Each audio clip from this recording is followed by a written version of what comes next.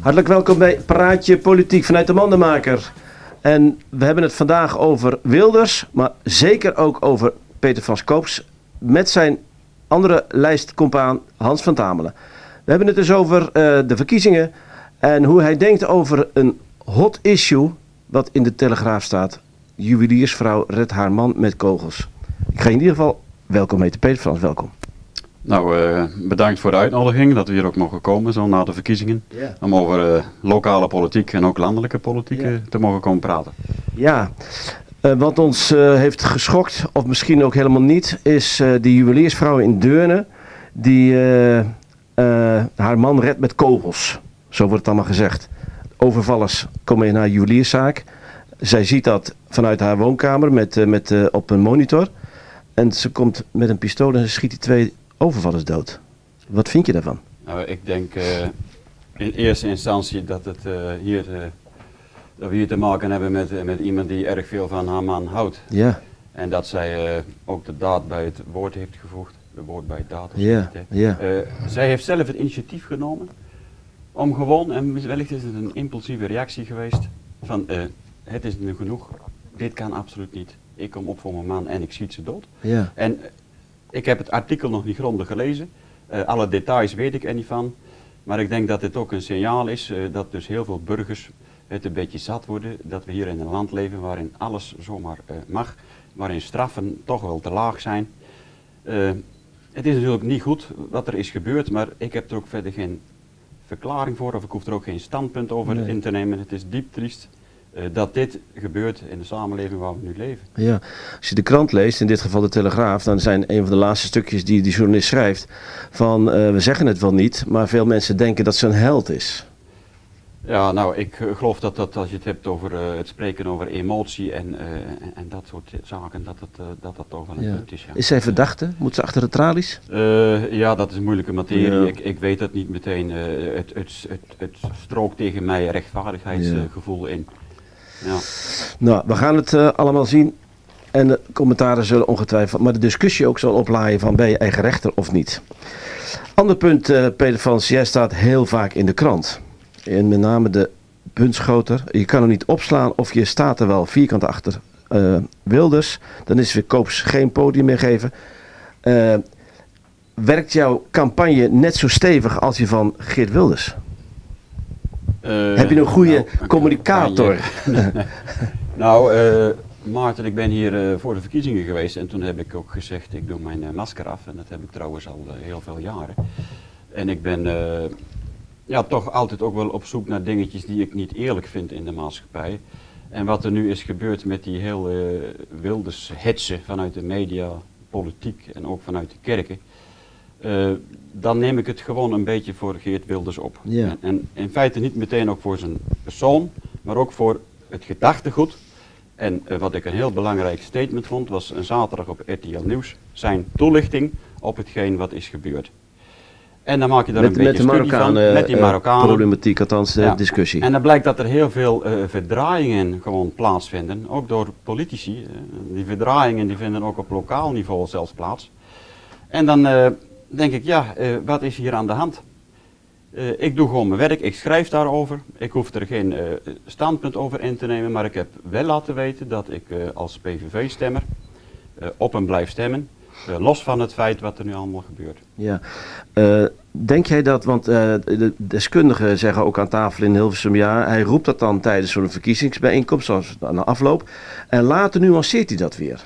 Nou, hij heeft het al veel eerder genuanceerd en ik heb eh, daarover al heel veel stukken ook in, in het verleden eh, geschreven. Eh, waar het hier over gaat is inderdaad een bepaald standpunt over, over Marokkanenproblematiek. En hij zegt gewoon, ik blijf binnen de kaders van mijn verkiezingsprogramma. En ik blijf binnen de kaders van, de- van de rechtsstaat en, en van de wet. Ja. Dus, maar goed, als het dan zo verdraaid wordt. Nu is het natuurlijk wel zo, hetgeen wat daar gebeurd is, dan kun je afvragen, is dat nodig hè, op zo'n bijeenkomst op die manier. Maar het is wel een intern partijfeestje geweest. Er was een journalist ja. en het is natuurlijk allemaal ontzettend uitvergroot. We mogen natuurlijk ook niet vergeten dat er al meer politici zijn geweest die ook heel negatieve dingen over Marokkanen hebben gezegd Ja. in het verleden. En toen werd het niet uitvergroot. En nu Nee. is het Wilders. En nu vliegen ze allemaal op hem. Hè, en dat het een hele eh, rare man is met verkeerde ideeën. Ja. Eh, heb jij ook overwogen om op te stappen, of althans je lidmaatschap van de PVV te beëindigen? Dat doen wel veel raadsleden of gemeenteraadsleden, zelfs eh, eh, provinciaal. Eh, nou, ik, heb, eh, ik ben geen lid trouwens van de PVV, dat kan niet. Maar ik, eh, ik heb natuurlijk wel even over nagedacht wat er is gebeurd. Maar wat ik gewoon ook heb gezien, is dat er eh, iedere keer gewoon verdraaiingen van standpunten zijn. En ook verwijzingen naar de Tweede Wereldoorlog. Ik heb daar vier jaar geleden al in een speech eh, over politiek en populisme ook al dat helemaal uitgespit, dat dat gewoon absoluut niet het geval is. En eh, het moment zal daar pas zijn als ik echt merk dat de PVV echt racistisch is en echt ga kijken naar de Marokkanen, wat voor DNA zij hebben, wat voor ras dat is, dan treed ik terug. Ja. Maar dat is absoluut niet het geval, tenminste zo zie ik het. Ja, want het, hij is niet racistisch, hij discrimineert niet.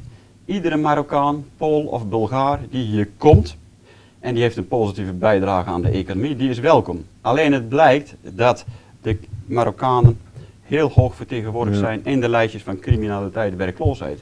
En de PVV is een politieke partij die eh, eh, politieke middelen, democratische middelen, eh, inzet in geschreven verkiezingsprogramma's met een gekozen mandaat.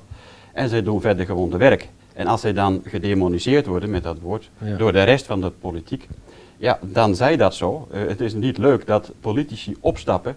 Als ik PVV-politicus was, dan zat ik bij de groep die eh, achter weer Geert Wilders en Zou het gedachtegoed bleef staan. Dus ik ren maar zo ook niet weg. Nee, nee, je zegt eh, eh, in het tussenzinnetje, ik ben geen lid van de PVV. Daar sta ik een beetje van te kijken eigenlijk. Dat is eh, algemeen bekend. Ja. Dat heb ik al eerder uitgelegd. De- deze partij die heeft gewoon een eigen originele manier van interne organisatie. En de tijd zal misschien ooit een keer rijp worden dat zij wel eh, aan ledencongressen gaan doen. Misschien ook niet, maar dat is voor hun van minder belang. Ja, ja. En daarom word jij geen lid van de PVV. Nee, nee. de- de- Maar je steunt als het gedachtegoed. Ik steun het gedachtegoed. En eh, ik bedoel, wij hebben in ons verkiezingsprogramma ook geschreven dat wij eh, ja, het beste door één, deur- één deur kunnen met de Ja. PVV. En ik heb al ook eh, laten doorschemeren dat ik wellicht mijn best zal doen op, op de kieslijst te komen met de provinciale staten. Dus dat, Ja. in 2015 is dat eh, aan de orde. Ja. Oké, even terug naar eh, waar we hier eh, druk mee zijn geweest, maar nog een beetje eigenlijk wel in, in het gemeentehuis, 19 maart, verkiezingen. Ehm, had jij toch ook een beetje stille hoop dat je misschien wel een tweede zetel zou kunnen bemachtigen? ja, natuurlijk hadden wij daar wel. Jij hebt dat wel eens. Ja. geroepen, zeg maar. Ja, nou stilletjes ook met de prognose hebben wij ook onszelf op drie gezet. Dat was misschien niet zo verstandig. nou, maar goed, achteraf kijk je een koe in zijn kont, zeggen Ja, ze wel eens. ja. Maar eh, op de avond van de verkiezingsuitslag was er wel een teneur dat wij eh, toch wel eh, wat teleurstelling hadden. omdat we die tweede zetel niet kregen. Maar ik ben dan ook geïnterviewd door, door Bart Bos. Ja. Dat is in de krant gekomen Ja. hebben we wat dingen gezegd waar we achteraf ook als partij weer over hebben vergaderd. Ja, eh, de teleurstelling was er wel, maar eh, de dankbaarheid was groter. En wij zijn nog steeds blij met, eh, met 700 mensen. Ja, twee ervan die waren op vakantie. Oh ja, de hadden 702 stempas. dus eigenlijk. Ja, nou, nee, het waren 698. Oh, ja, ja, Dus ja. ik er 100 ja, van de 700, die waren op vakantie en hadden die stempas gewoon bij het oude papier gezet. En Oh. toen kwam ik tegen later, ja, ik had wel op je willen stemmen. Ja, Maar nee. goed, daar gaat het even niet om. Eerste reactie was een kleine teleurstelling. Daarna dankbaarheid en de neuzen allemaal dezelfde kant op. Eh, de commissies die zijn weer eh, volledig gevuld met enthousiaste mensen. En de ene heeft een talent op dat vlak en de andere heeft een Ja. talent op dat vlak. Ik heb Hans van Tamelen meegenomen Ja. als, als lijstduwer. Eh, hij maakt schilderijen en hij, eh, zit, hij weeft daar een politieke boodschap in. Ja, ik vind het wel een mooi bruggetje. Je, je lijkt bijna wel op een journalist. Bruggetje slaan naar Hans. Hans, naast jou staat, of heb je meegenomen, jouw eigen schilderij. Wat wil je daarmee uitdrukken? Nou, Geert Wilders Ja? Ja, dat is wel duidelijk hoor. zegt dan, I stand up for pigs. Ja? Omdat wij volgens de Koran allemaal varkens zijn. Ja? En Geert Wilders is de enige in Nederland, publiekelijk, die nog voor ons opkomt. Oké. En, en tegen de islam is. Ja. En, en, wij, en daar sta ik achter bij Geert Wilders. Heb je dat schilderij zelf eh, geschilderd, zeg maar? De schilderij heb ik zelf geschilderd. Ja? Eh, Ja, helemaal zelf geschilderd. Ja. En dan sta je in één keer op de lijst van de SVP in Bunschoten. Ja, Hoe is dat zo gekomen? nou ik, eh, eh, Peter van Als Schoops, nummer 10? Peter van Schoops kwam bij me, of die, die mailde mij. Zegt hij, jij maakt schilderijen van eh, politieke schilderijen. Oké. Zegt hij, wil je bij ons in de partij komen op de kieslijst? Ja. En toen zei ik eerst, nou, nou, nou, nou. En toen deed ik erover nagedacht en toen zei ik, ja, dat, dat wil ik wel. Want Peter, die had goede argumentatie. Nou, ik, vooral dat, dat politieke gedachtegoed, eh, dat past volledig in, eh, in onze Spakenburgse Vrijheidspartij. Ja. En nu is het zo dat wij natuurlijk ook gewoon mensen zoeken die, eh, die mee willen doen. En we hebben gewoon afspraken gemaakt, wat kan Hans in de partij. En Hans kan ook al, woont hij in de, in de gemeente Amersfoort, niet meteen commissiewerk gaan doen. Nee. Maar daar hebben we ook weer andere mensen voor. Dus, maar zijn durf ook om zijn nek uit te steken daarin, om bijvoorbeeld ook schilderijen over Mohammed met Ja. Aisha te schilderen. Heb ik hem wel eens gezegd, hij is de Gregorius nekschot hè, Oh van, ja. van, van Oh. Nederland die Oh nog ja. eh, mag werken. Ja. Want de echte Gregorius nekschot die is door de politie notabene eh, eh, opgepakt en eh, hup, je mag niet Nee. islamkritisch zijn. In zo'n wereld leven wij bijvoorbeeld, dat Ja, wij bijvoorbeeld steeds. al eh, in, met een Europese Unie, met meneer Martin Schulz, die wil misschien eh, islamkritiek strafbaar gaan maken. Nou, dat, is, dat vind ik nogal. Ja. Dat vind ik pas discriminerend. Reageer jij op, op uitlating, op quotejes, op, op dingetjes die Ja. iemand op Twitter of Facebook of waar Niet dan op ook alles. roept? Niet op alles, maar eh, bijvoorbeeld eh, wat bijvoorbeeld eh, over Hans van Tamelen en de krant is terechtgekomen, dat vond ik hoogst, ja, niet echt objectief. Net zo voor de verkiezingen, dan wordt er een, een uitzending van, van, van, van de televisie van Hans van Tamelen aangehaald.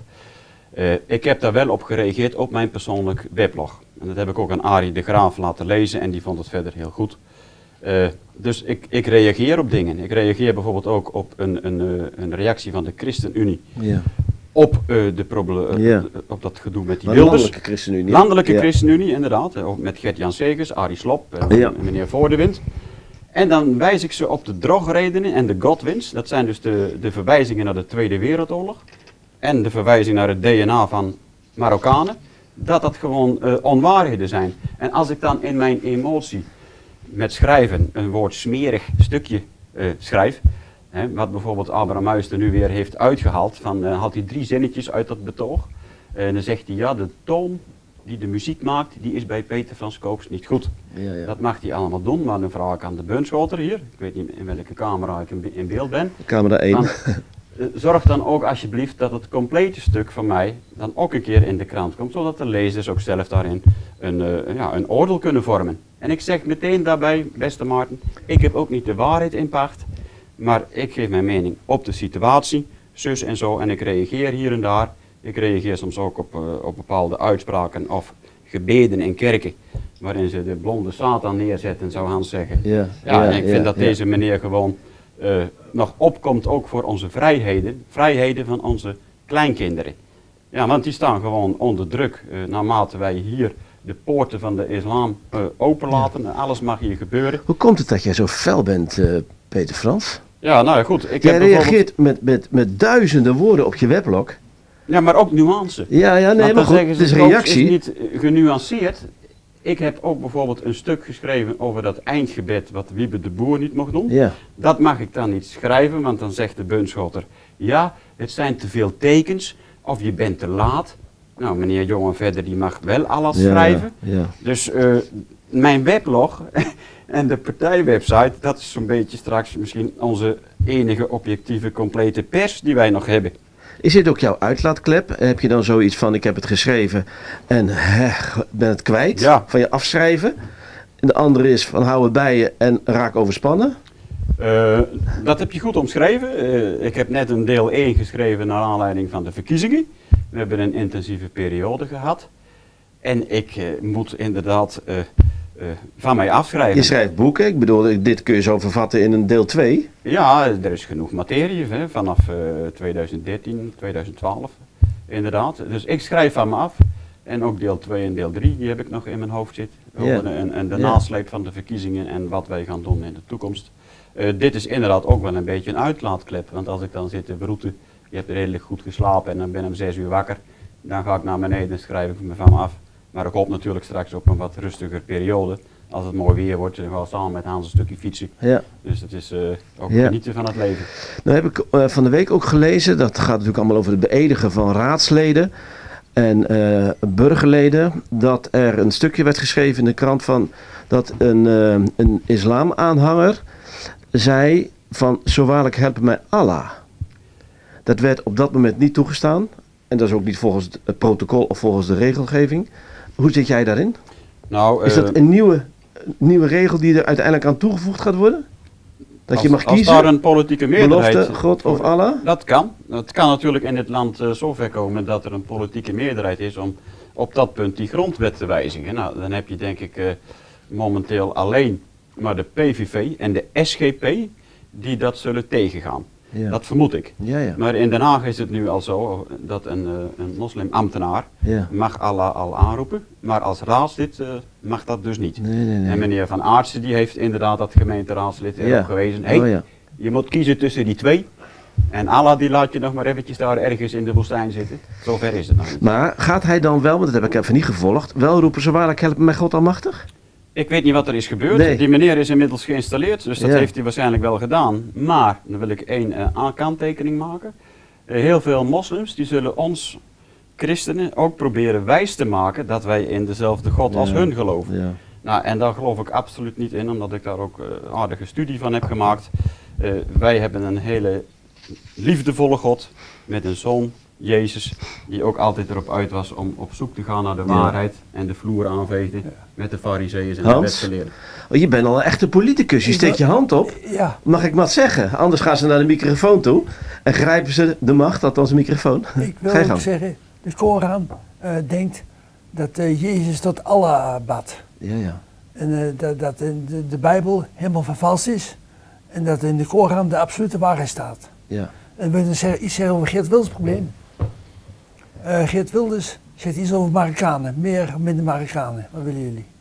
En toen zegt uh, Diederik Samson, zegt eh, een tijdje geleden, Marokkanen hebben de monopolie op criminaliteit in Nederland. Ja, in bepaalde steden. En dat, dat Ja. wordt geaccepteerd, niemand die er wat valt, Ja, ja. of wat over zegt.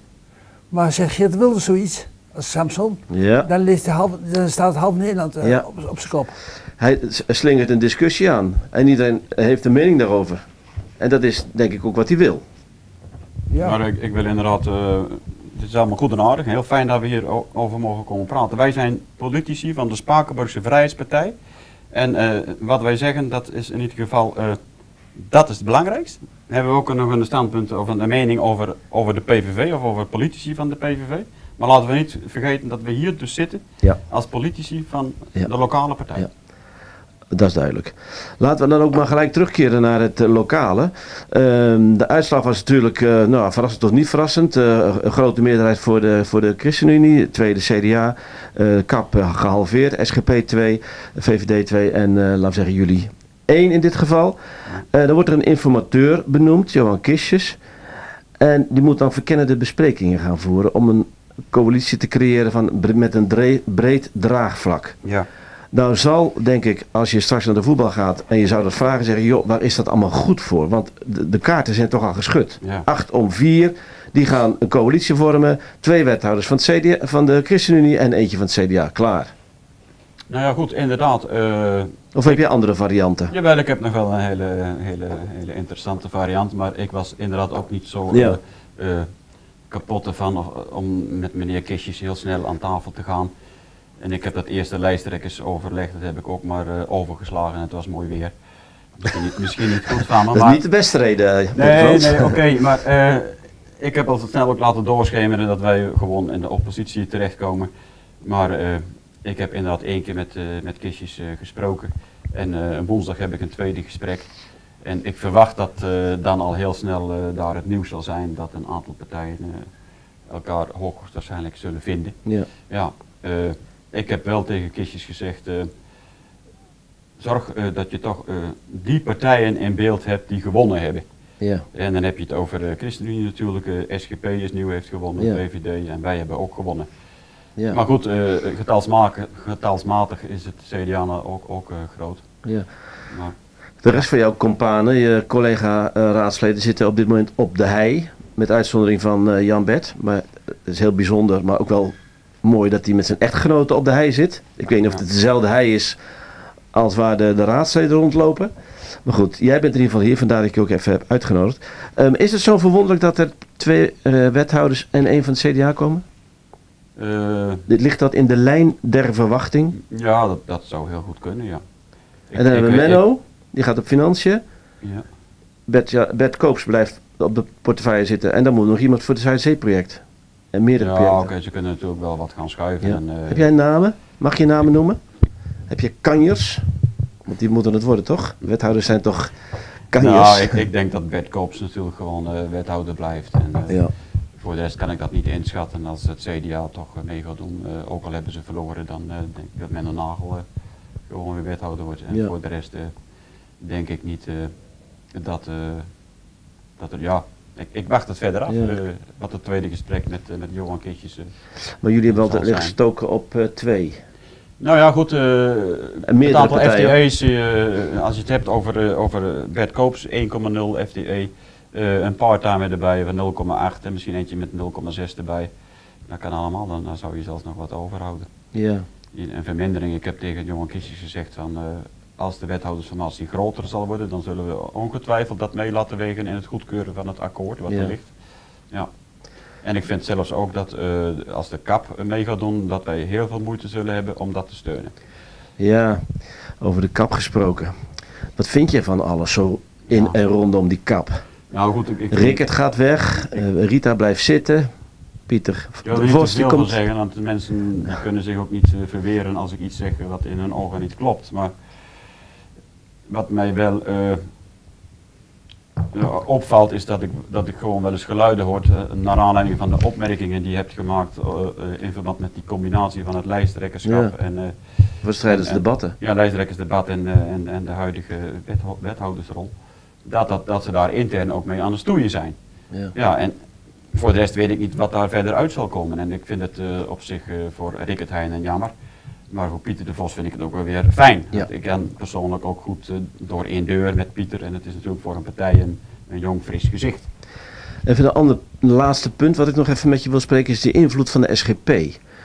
Eh, van 0 naar 2, eh, dus heel veel mensen zien dat zitten met de SGP.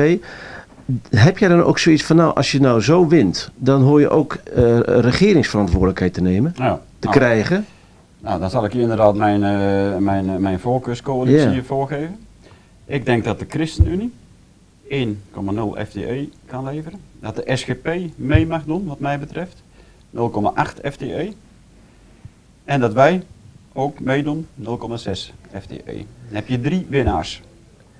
Het zal niet gebeuren, maar Nee, dat maar- is de mooiste eh, variant vind ik. Waarom ook? Hebben ze ook de komende vier niet zo last van, van Peter van Skoops, dat hij vervelend is in de raad. Oh, je, je wordt Ja, beloond, je wordt beloond omdat je vervelend bent. Ja. ja. Nee, maar wil je dan wethouder worden? Nee, ik, dat, nee, dat wil ik niet. Maar wie Maar dan binnen jouw dat, partij? zie- dat zou kunnen. Wij, eh, ik heb al één gezegd met die debatten, wij lopen niet weg voor de verantwoordelijkheid. Dan zullen we gewoon een vacature instellen. Ja, Maar waar, waar, welke portefeuille zou je dan willen, eh, Peter Frans? Zuiderzee, is dat iets voor jou? Nee hoor. Oké, SGP. Nou, wij, eh, wij vinden, en wie zijn wij? In ieder geval, jullie hebben best wel een, een warm hart voor de SGP, dat die ook best eh, in het plus terecht mag komen. Jawel, zeker ja. En wij hebben heel veel overeenkomende punten. Mijn verwachting is trouwens overigens gewoon dat het CDA en ChristenUnie zal worden. En dat ChristenUnie 2 levert en het CDA 1. Je bent nogal goed in, eh, in, eh, in prognoses doen. Vandaag eh, staat er op de derby op de Westmaat eh, de blauwe tegen de rode. Heb jij daar een einduitslag? Of kijk je naar je... Ja, de, Hans heeft denk ik meer verstand Ik van, denk eh, van voetbal. Ik denk en hoop dat IJsmeer Vos wint. Ja? Ja. Maar ik ben eigenlijk van Ajax. Dat vind ik de beste Ja, club. 020, daar heb je niks aan. Dat vind ik de beste club die er is. Dan ben ik Ik voor ben- 030. daar Laten we even mee. alles maar eruit gooien. Maar jij ziet winst voor, eh, voor de rode. Ja, ik denk wel. Aan de blauwe kant, hè? Ja, weet ik, weet ik. Mag, ik nog één stelling eh poneren Ja. die niet aan bod is gekomen eh, met het debat van de LOS? eh. Wij hadden een stelling gezegd dat eigenlijk de eigen burgers slachtoffer zijn eh, van de drooglegging, slachtoffer van iets wat zij niet hebben gedaan. En dan kun je zeggen, ben je het ermee eens of niet mee eens. Maar ja, die stelling die is niet aan, aan bod gekomen. En, eh, was de- eh, onze stelling was ja, wij zijn het met die stelling eens dat, dat de burgers dus gestraft worden Ja. voor iets wat zij niet hebben gedaan. Je hebt eerder initiatief getoond om de drooglegging om zeep te helpen. Ja, ook. Heeft om het niet te helpen. Nou, in ieder geval om dat experiment eens te proberen. ja, ja. Van, laten we eens kijken hoe de, eh, terug eh, naar de situatie van een aantal jaren geleden. Toen verliep ook alles in goede harmonie. Alleen toen had je die Katwijk-gasten die, eh, die oproer hielden in die, in die sportkantine. Maar goed, dat politiek puntje dat is niet aan bod gekomen, ook met de verkiezings- verkiezingsdebatten. Nee. En eh, de kiezer heeft gesproken en heel veel mensen hebben gewoon op de christelijke partijen gestemd. Waarvan akte. Ik dank jullie eh, allebei hartelijk voor eh, hier aan tafel zitten bij Praatje Politiek. Dit was een interessant gesprek met Hans van Tamelen en fractievoorzitter van de SVP Peter Frans Koops. Dit was Praatje Politiek. Tot een andere keer. Dag.